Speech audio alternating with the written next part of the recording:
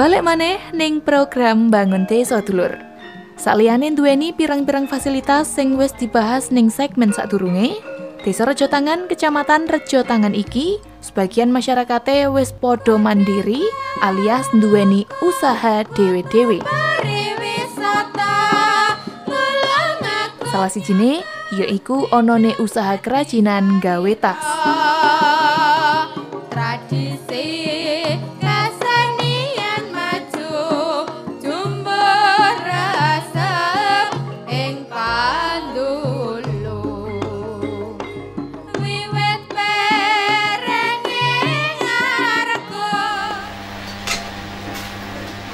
Dulur, saiki bangun desa nyambangi nek omahe Ibu Suparmi yaiku iki nek kene nggih tas.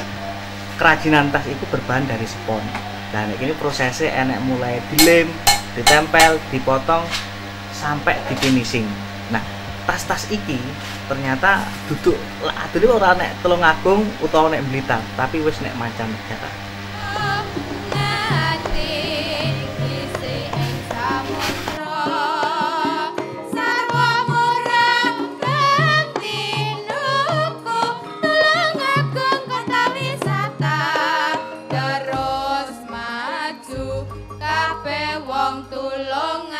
Usaha kerajinan gawe tas iki ngono, usaha nggone Suparmi. Lah kanggo ngasilno tas api sing teko bahan dasar imitasi karo sepon iki, kudu nglewati proses sing cukup dawa dulur. Mulai teko gawe pola, guntingi, ngelem, sampai proses finishing.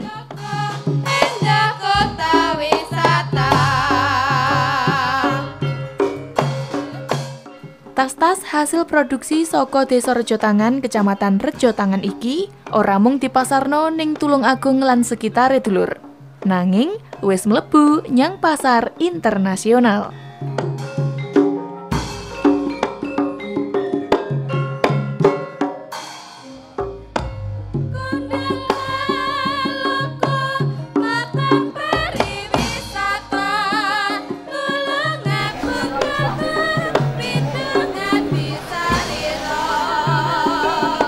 Iki lho dulur hasil tas sepon sing diproduksi Ibu Suparmi nek desa Rejo Tangan.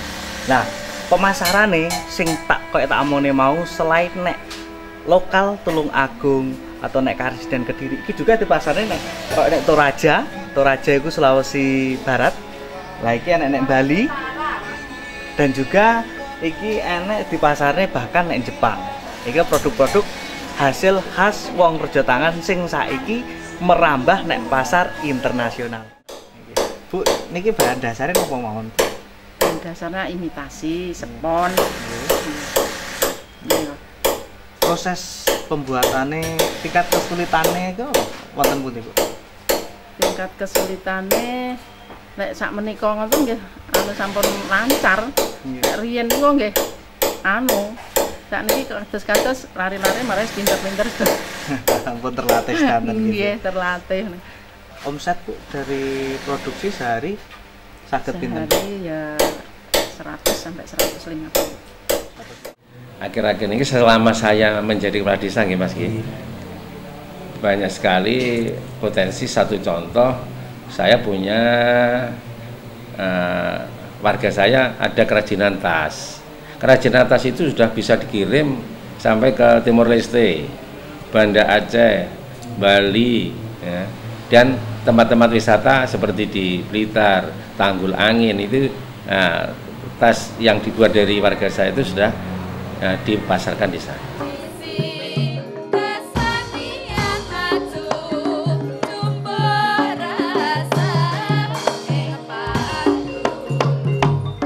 Usaha liyane sing ana ning Desa Rejo Tangan lan dadi salah sijine sumber panguripane warga yaiku usaha kerajinan gawe kandang pitik utawa bebek sing biasa disebut batrek.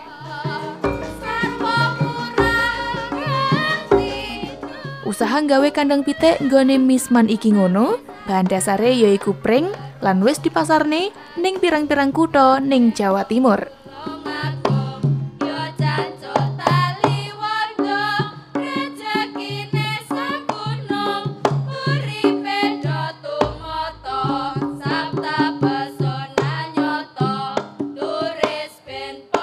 Seperti peternak ternak ayam ada lalu pembuatan baterai ada.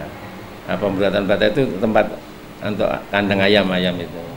Jadi kalau desa saya ini karena tidak ada air untuk mengairi untuk sawah saya tidak punya sawah. Jadi lahan sawah tidak ada yang ada adalah lahan tegalan tanah kering ya seperti tanaman jeruk banyak mangga banyak jambu ada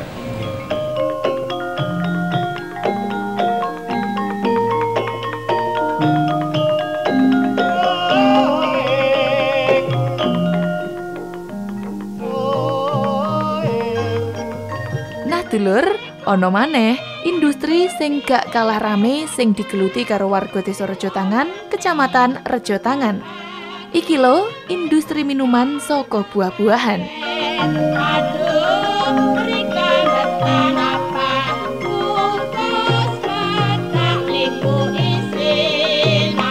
Amerga meh separo desa Rejo Tangan iki ditanduri buah blimbing, mangkane buah-buah iku mau dimanfaatno karo warga gawe ndukung usahane. Salah sijine yaiku usaha produksi minuman buah sing duweni merek UBK iki.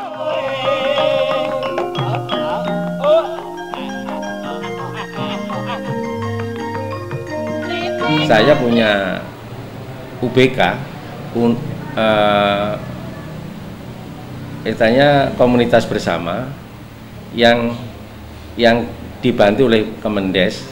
Itu saya punya jus blimbing karena desa saya menghasilkan banyak blimbing artinya hampir separuh desa ini ditanami oleh pohon blimbing Potensi, potensi blimbing ya Banyak, Pak. termasuk unggulan nah ini juga pernah saya ikut lomba mengambil Kabupaten Tulungagung di dalam rangka desa uh, unggulan desa.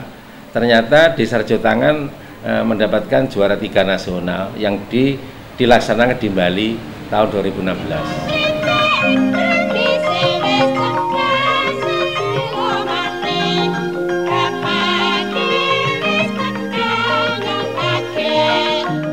Produk minuman asli Desa Rejotangan, Kecamatan Rejotangan, Kabupaten Tulung Agung iki isih dipasarno ning Tulung Agung lan sekitare.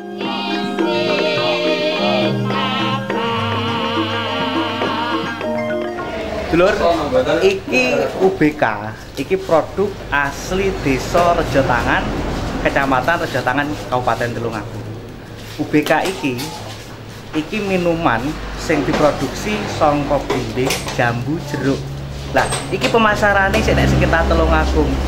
Krana peralatane produksine sik minim, dadi nolak-nolak permintaan dari konsumen. Lah, rencanane iki arep dipasarne sampai nek internasional. Dungone ya dulur ya.